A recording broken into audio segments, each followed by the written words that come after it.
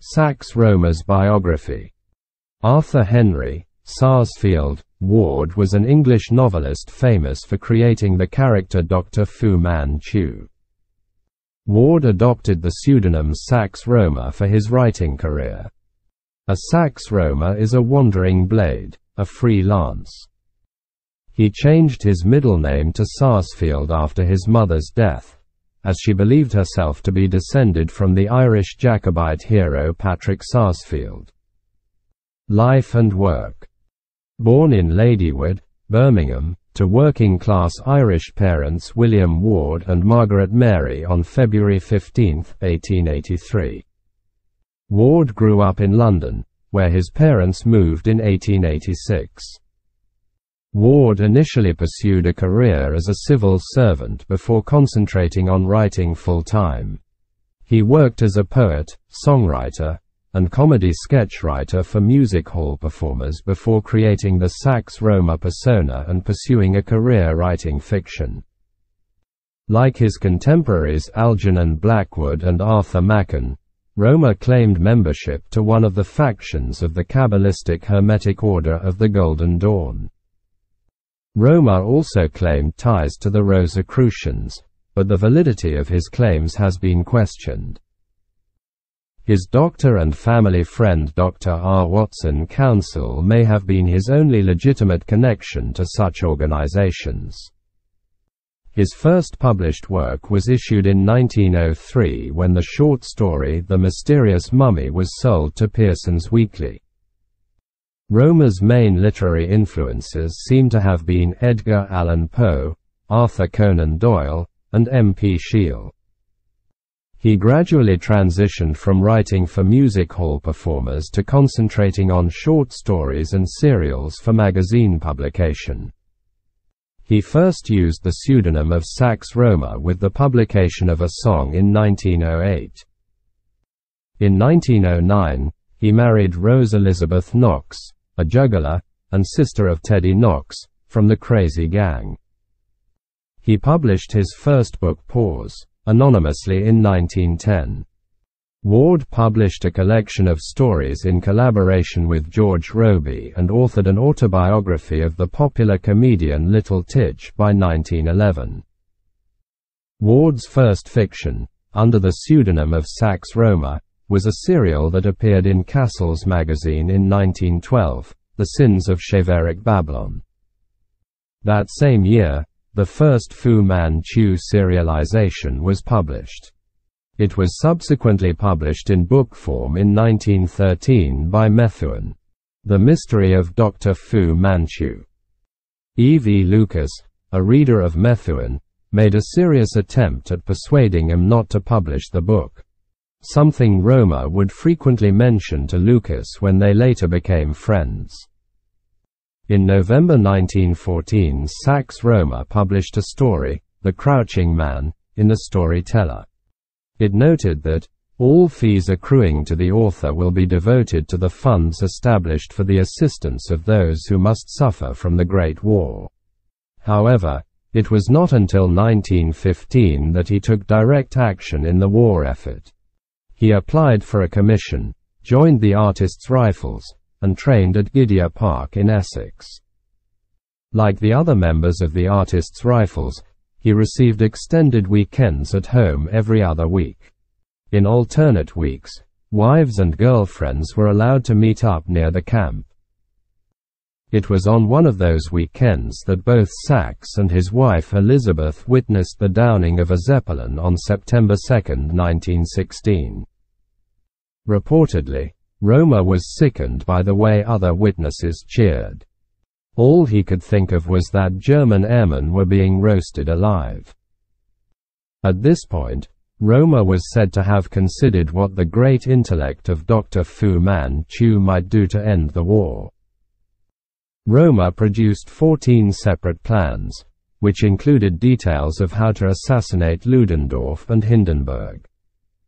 Rohmer persuaded his friend T. P. O'Connor, an Irish MP and editor of the Journal of the Great War to introduce him to someone important in the War Office so he could present these plans.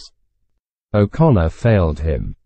However, Rohmer did manage on his own initiative to wangle a meeting with Ian McPherson, Under Secretary of State for War, and Rohmer delivered his 14-point plan of intensive warfare. Neither Ludendorff nor Hindenburg was assassinated. Although, Rohmer was subsequently invited to work in the department known as MI7B, which was involved with propaganda. Rohmer worked here both before and after being discharged from the army for health reasons. Rohmer experienced a recurrence of a lung weakness which had nearly killed him in infancy.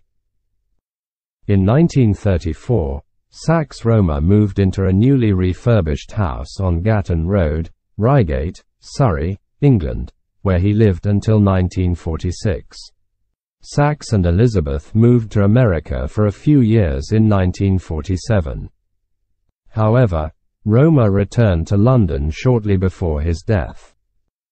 Rohmer died at University College London Hospital, after succumbing to Asian flu, on June 1, 1959, at the age of 76, and was buried in St. Mary's Roman Catholic Cemetery. Kensal Green, London Borough of Brent, Greater London, England. His wife, Rose Elizabeth Knox Ward, published her own mystery novel, titled Bianca in Black, in 1958 under the pen name Elizabeth Sax Rohmer. Some editions of the book mistakenly credit her as Rohmer's daughter. She and Kay Van Ash, her husband's former assistant, wrote a biography of the author, Master of Villainy, a biography of Sax Rohmer, published in 1972. The Fu Manchu series. After penning Little Tich in 1911, as a ghostwriter for the music hall entertainer of the same name, he wrote the first Fu Manchu novel, The Mystery of Dr. Fu Manchu. Originally published as a serialization from February 1913 to June 1913. The first Fu Manchu story, The Zayat Kiss, was originally published in Collier's magazine, February 15, 1913. It was an immediate success, with its story of Denis Nayland Smith and Dr. Petrie facing the supposed worldwide conspiracy of the Yellow Peril. The Fu Manchu stories, together with his more conventional detective series characters, Paul Harley, Gaston Max, Red Kerry, Moris Klaw, an occult detective, and the crime magnate. Made Rohmer one of the most successful and financially successful authors of the 1920s and 1930s. The first three Fu Manchu books were published between 1913 and 1917. It was not until 1931, some 14 years after the third book, that Rohmer returned to the series with Daughter of Fu Manchu. The reason for the long interval was that Rohmer wanted to be rid of the series after the Si-Fan Mysteries. The first three books had been successfully filmed by Stoll in the 20s as a pair of serials. Rohmer's first effort at reviving the Fu Manchu property was ultimately reworked as The Emperor of America. The original intent had been for the head of the organization to be Fu Manchu's daughter. He kept head center as a female criminal mastermind to combat Drake Roscoe, but was very unhappy with the book both as it started and in its finished form. He would later return to Drake Roscoe and his female supervillain for the Sumuru series. In the meantime, he tried again to focus his energies on what was first titled Fu Manchu's Daughter for Collier's in 1930, but with an older, now knighted, Denis Nayland Smith as the protagonist once more. The results were infinitely better and Jump started the series in the process. In the 28 years from 1931 to 1959, Rohmer added a further 10 books to the Fu Manchu series, meaning the series totals 13 books in all. Not counting the posthumous short story collection The Wrath of Fu Manchu and other stories. The Fu Manchu series was criticized by the Chinese government and Chinese communities in the U.S. for what was perceived as negative ethnic stereotyping.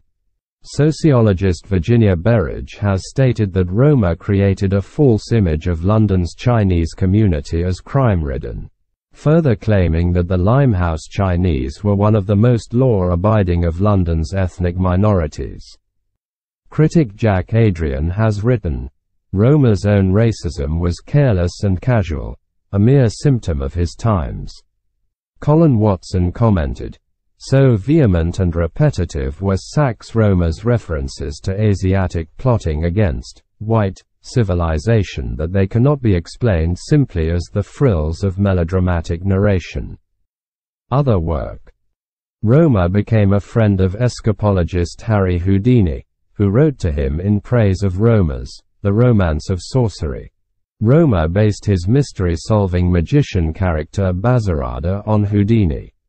The Orchard of Tears is an odd book in the context of Sax Rohmer's other work. There are no oriental villains or exotic locations. Rather, there are gentle rabbits and lambs in pastoral settings and a great deal of philosophical musing. As much as he enjoyed Fu Manchu and the notoriety and income the character provided, Rohmer had other interests and a markedly serious side. The departure from his expected subject matter is plainly signaled by the book's dedication to the slaves of the pomegranate, sons of Adam and daughters of Eve, who drink at the fountain of life. This chalice is offered as a loving cup.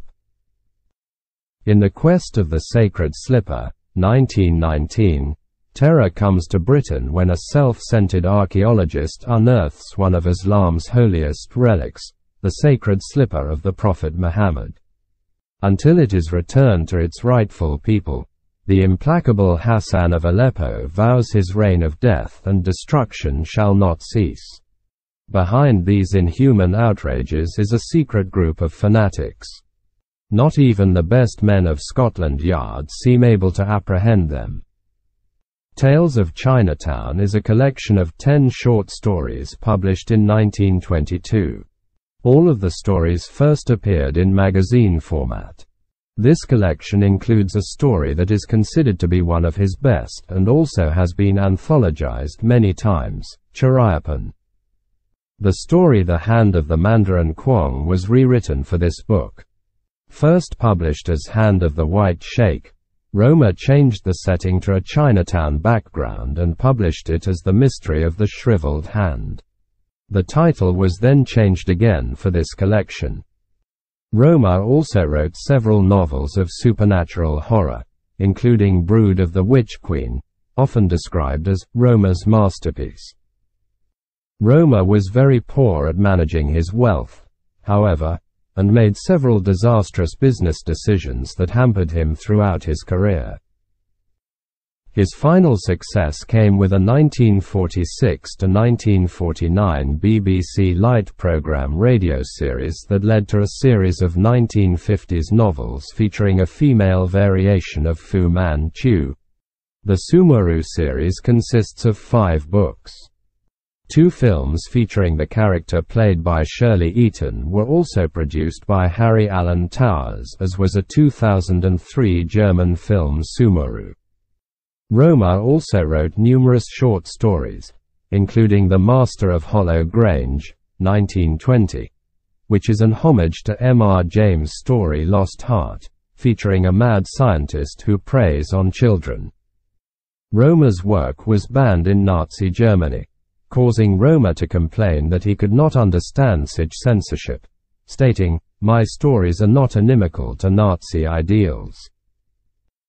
For the complete Sax Rohmer bibliography, visit shangchimokf.blogspot.com forward slash 2016 forward slash 12 forward slash Sax dash Rohmer dash biography dot html